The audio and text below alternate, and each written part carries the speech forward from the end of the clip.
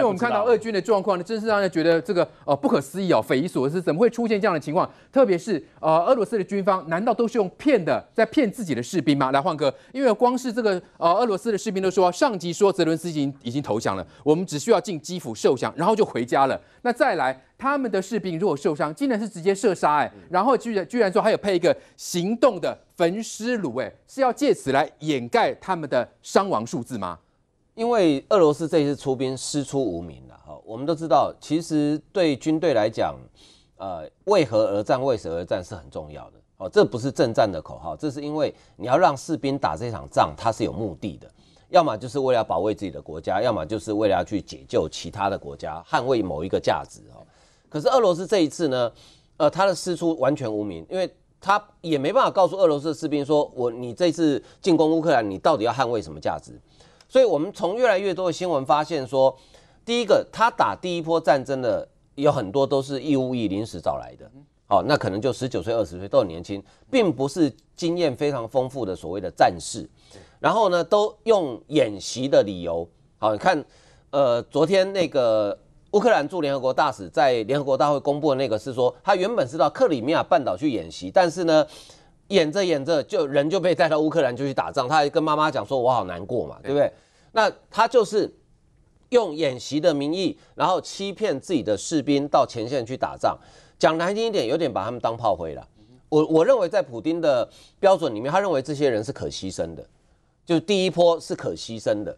哦，那我真正的精锐部队还没有派出来，是在后面。对，其实到目前为止，我们没有，并还没有看到俄罗斯呃最能打仗的部队。到第一线去哈，所以呢，第一第一第一线的部队有被骗的感觉，我觉得这这很正常。但是一个正常的民主国家，当他要开战的时候，他绝对不会用骗士兵。像美国打两次波湾战争，他有没有骗他的兵？或者说我们在演习，然后就把你丢到波斯湾去？不可能吧？他就很清楚的告诉你说，你现在要去波斯湾打仗是什么？对，你的风险可能在哪里？你可能没办法回来哦。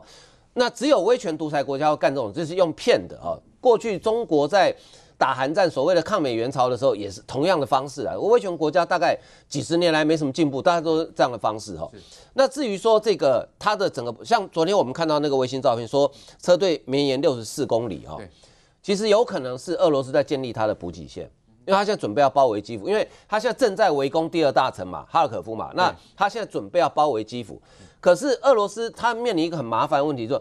基辅虽然离北边的白俄罗斯边境算相对比较近，大概两百多公里，可是别忘了哦，俄罗斯它并没有办法控制乌克兰的每一寸土地，它现在并不是占领，它是像箭头一样，我箭头射到基辅，但是后面这两百公里，对它可能是空的。哦。当你补给线拉这么长的时候，乌克兰的，因为乌克兰有地利之便，他们是地主嘛，他当然知道哪边可以躲，哪边可以攻击，他可以随时截断你的补给线。对，所以为什么过去这一个礼拜，我们常常看到就是战车没油了？为什么没有油？其实一个部队打仗啊，战车打到战车没油，就代表说这个部队事先没有做好充足的准备。你有没有听过美军打仗打到战车没油，在路边抛锚的？我们几乎没有看过这样的新闻。作战计划、后勤补给一定要一定要有的嘛？对，特别是因为你知道战车是很耗油的，吃油怪兽。你那个补给站一定是如同刚刚静平讲的，我可能部队还没到，我已经先设好加油站在那边了。你没油就来这边加嘛，加完之后继续走嘛，然后前面还有加油站在等你嘛。对，所以后勤是一门大学问。我不相信，因为俄罗斯的部队也算是实战经验非常丰富的哦，也很久没打仗了。对，也是啦，从上次打车臣之后，也也很多年没有打。是同一批人。对，所以他的后勤补给怎么会这么的糟糕？糟糕到说你竟然战车会没有油，然后在路边，因为战车没有油，就是等于是一个几十吨重的累赘在那边。对，好，那最后我讲说，为什么官兵受伤，下令自己人射杀？其实这是非常不人道的，非常残忍的。对。可是就军事上来讲，这是最有效率的。我必须这么说，因为一个伤兵至少要两个健康的兵照顾他，因为你要抬着他走嘛。那说会拖累那个对，等于是行军的。所以现代的战争里面，他们强调是射伤、瘫痪，而不是射杀。就我射伤你一个兵，你要有两个人来把他带走，等于是我射伤一个，你就少个少掉三个战力。那普京这个做法的确非常残忍，这任何稍微有人权、有人道国家绝对不会干这种事。因为你同袍怎么干得下去？就自己人怎么可能开两枪把他射杀掉？我认为他下这样的命令，前线也没有办法执行了。是啊，哎，那个人可能是晚上睡在你旁边的人，哎，是啊那你开枪去把他打死，对，怎么做得下去？这绝对不可能的事情嘛。但是可以可以想见的哦，俄罗斯，我觉得从这些种种的蛛丝马迹，只证明了一件事，就俄罗斯全国足以用在支应这场战争上的资源，其实并没有想象中的多。对其实它的资源是非常有限的。对，所以现在就是跟他打持久战，撑过越多撑一天，对俄罗斯就越不利。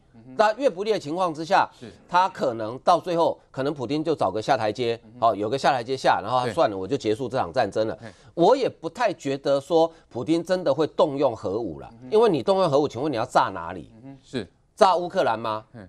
炸乌克兰有可能会影响到白俄罗斯，可能会影响到俄罗斯自己啊，因为那个辐射扬尘是会过去的。那你去炸北约国家吗？那北约国家就马上用核武反击啊，攻之啦，那？那就那就第世界末日啊，对。那就变世界末日啊。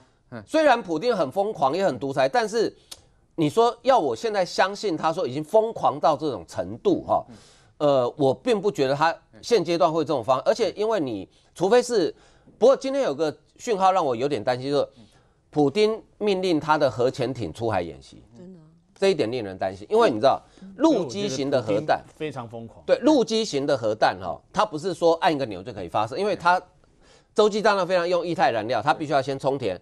当你在充填的时候，美军的人造卫星就会知道你在充填核弹了。哎，是。但是潜射型的你完全不知道，它可能停在一个定点，直接就发射了，所以这一点是让我比较有点担心的。